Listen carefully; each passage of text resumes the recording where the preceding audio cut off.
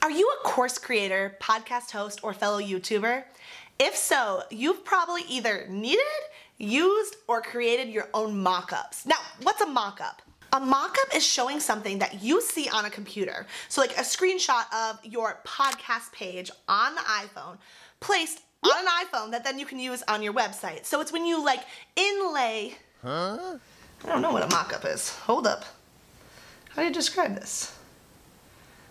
Mock-up. Mm.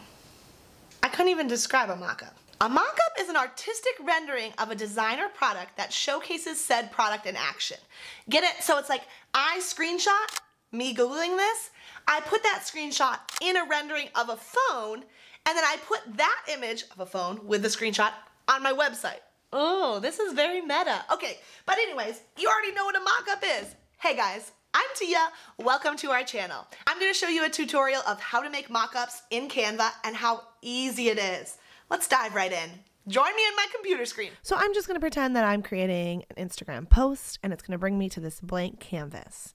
Now, the first way that I can create a mock-up is I can go into Elements and then I'm going to scroll down and in frames, there are some awesome options in here, including mock-ups right here. There's a computer, there's a phone, there's a laptop, there's an iPad.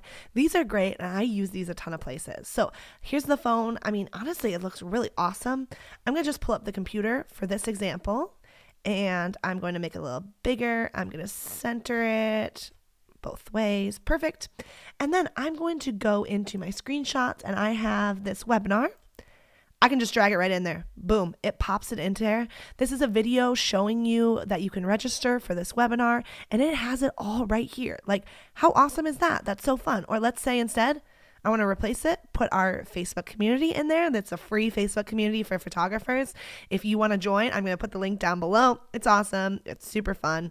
But um, that is just really easy way because it creates this frame. I can also click on this and delete and I could start over if I wanted to put something else in there.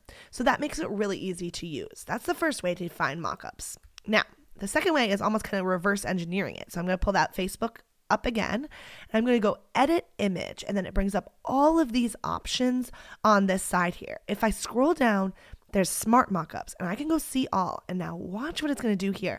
It has all of these different mockups where um it has just basic ones, you know, like how we were using with a blank backdrop, but it has all these ones that have backdrops all around it, have hands, have people. Like it's incredible. Let's try it out. I'm going to pop it in there.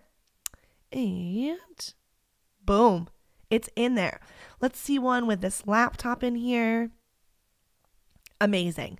So the frames are definitely more accessible and I can like replace things much easier, but these look a little bit more realistic. Like they have the shadows to them, they have some depth to them, and there are so many options in here for greeting cards, business cards.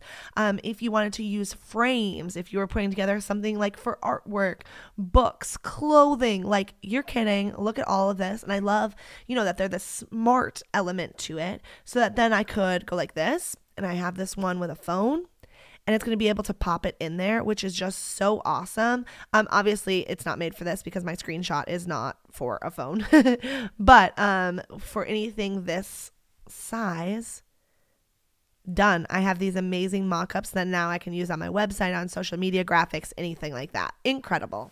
Okay guys, was that helpful or what? We have mockups all over our website and all of them were created in Canva. Mwah. They are so amazing and it's so easy to do. If you love Canva tutorials or if you just need some questions answered, I've got you. If you need a question answered, drop it down below. I've also got a huge playlist that I'm gonna put up above for you that shows you all the videos we've created on Canva. Canva is a godsend to our business. We could not run it without Canva, and so we wanna help you make that happen. Be sure to like this video if it was helpful, and we'd love to see you back for another. Hit subscribe so that you're notified every Thursday when we've got a new video. And until next time, bye!